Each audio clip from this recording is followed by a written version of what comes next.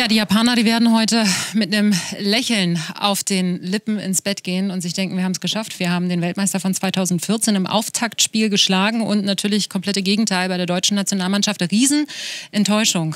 Basti, ich würde mal sagen, du warst auch nahe der Fassungslosigkeit. Wie erklärst du dir die Niederlage? Ich erkläre es mir damit, dass wir eigentlich, wie auch in den vergangenen Spielen, wir hatten Chancen, ein Tor zu machen, haben das nicht gemacht, haben das 2-0 heute nicht gemacht. Und auch die taktische Umstellung von Japan äh, in der Halbzeit auf ein 3-5-2-System oder man kann auch 5-2-3-System sagen, haben wir keinen Zugriff gehabt.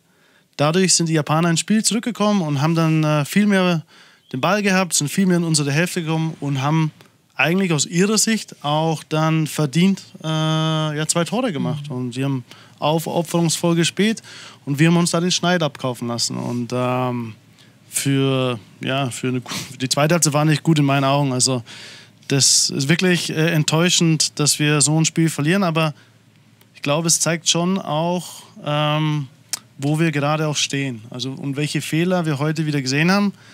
Das ist kein Zufall, die hatten wir auch in den anderen Spielen. Welche Probleme hat die Nationalmannschaft dann? Gerade im Defensivverbund, äh, muss man sagen, waren heute auch wieder große Fehler da. In der ersten Halbzeit auch mit diesen einfachen Ballverlusten.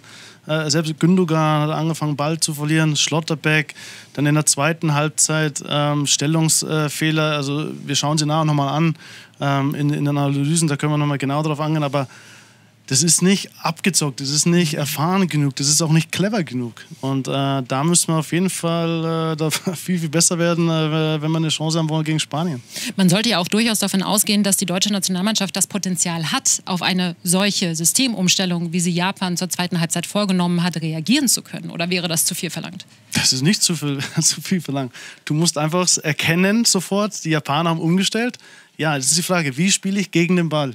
Wie spiele ich gegen den Ball, wenn die Japaner den Ball haben? Ähm, spiele ich einfach das, das gleiche System? Das wäre eigentlich so am einfachsten, würde ich sagen.